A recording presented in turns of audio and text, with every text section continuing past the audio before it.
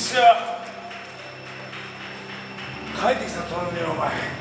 白星取るのは最高だったけどな。あまあそんなに甘くないか。ああまあでもこけしも今日はなるだけど調子良さそうだしいぶしもよんね。ああこれでこそ新日本に帰ってきちゃって意味があるんだからあ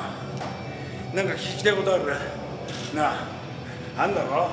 あるよななんだ言ってみろモンベライオンの2人が、ん。あのシングルマッチされてたんですけど、うん。その試合見ていかがでしたか？いやまだまだよ言ったら。岡田も棚橋も手のひらで転がしてるようなもんだろああこれはあの上村が言ってた通り辻が言ってた通りまだまだだってああそれは俺が見ても分かるああおい。この俺様はよどんだけお前よ逃げしろさせてきたんだあれじゃまだね。ただあいつらに米をさせるとすればああいつらのがむしゃらさあそれは果てしなくいいぜ。あ果てしなくいいからその後に何か続くよな必ず。あこのこの俺の聞いて聞く聞かない人なんて別聞いたから思いました。聞かないから思いました。そんなことはどうだってあいつら個人なもんだよああただ俺としてはよ長らくのこのほらコロナ禍だろ。コロナ禍でまあどういう期限であの映画撮影したか分からないけどまあやっぱりストップされて、うん、足でなんか足を止められたけど俺の中ではいろいろ考えるところもあったしプロレスってやっぱりすげえなって最高だなって考えるところもあったしああ言うことねえだろ。改めて自分の足元をよ照らされた感じだよな。ああだからプロレスは最高なんだよ。あ今日の試合って最高だったろああそういうことよ第三世代が終わってるな。終わってたら俺たち勝ってんだろ。え？いい節がいてんだよ。勝つだろそうや問屋が下ろさなんだよ。楽なもんじゃねえんだよ。だからこそ俺たちは日々練習してんだろ。あいつらぶちまってたんだよ。ああ俺が帰ってきちゃう。これからまた面白くなってきた。言いたいことはそれだけだよ。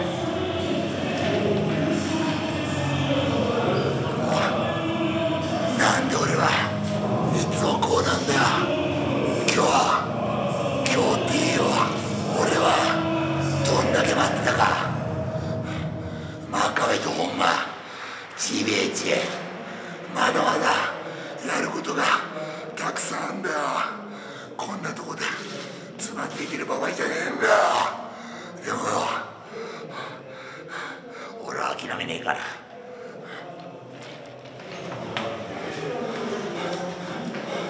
今まあ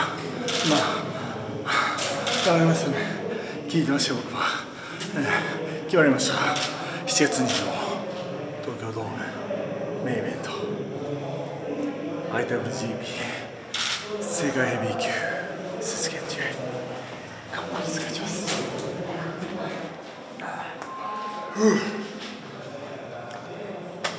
まあいぶしてやれてよかったかなと。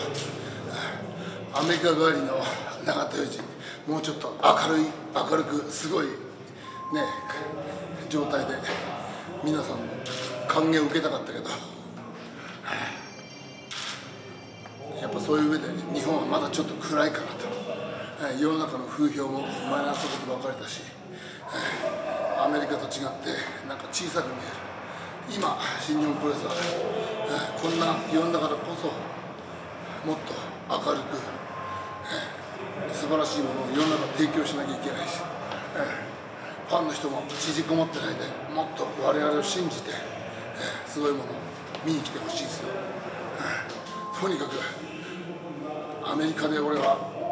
とてつもないやっぱりね先を見えてねコロナ禍の先の素晴らしい世の中を見えてきたから、え日本も負けず劣らずそういうものをそれ見てきた我々からファンに与えるように与えれるようになった試合をしていきたいなと思いましたね。いぶしは次挑戦するらしいですね。IWGP ねすごいいいじゃないですか。その次期チャレンジャーと序盤戦えてすごいねちょっと見ないうちにすごい強いしすごいすごいなんか成長してるのを感じたしね。リーブシが取ったらベルト挑戦したいなとちょっと思っちゃいましたね。頼むぞリーブシいやあの久しぶりのねあの第三世代揃い踏みでね、うん、永田と小路がやっと帰ってきてもう何年なんか1年2年ぐらいいなかったみたいなね。ちょっと寂しかったですよ。でもやっと帰ってきて今日久しぶりに組んでみてやっぱり違うよね、うん、やっぱり第三世代、うん、天小路そして永田、うん、俺ら組んだらやっぱり何の声もないもん、うん、余裕で、うん、試合もできたしね、うん、だからやっぱりしっかり、うん。またこのまま、うん、この新日本の戦いの中でどういう展開になるかわからないけどでもこの3人っていうのはめちゃくちゃこれからちょっと、うん、あのしていきたいなって、うん、自分でもね天候寺そして永田と3人で、うん、何か大きいことできんかなって、うん、すごい考えてますよ。まあ、これはあのまあ、個人も永田の意見も聞かないと分かんないですけどもしっかりとあの3人でね話し合って、うん、何かしら目標っていうのを見つけないと俺たちもやってる意味がないし、うん、せっかくアメリカでね、うん、すごい経験しいい経験してきて帰ってきた2人をねこのまま、うん、スルするわけにはいかないししっかりとなんか、うん、何かを、うん、捉えていきたいなって思います。はい。ビッグチャンスが来るように掴みに行きたいと思ってます。はい。そんな感じですね。はい。ありがとうございました。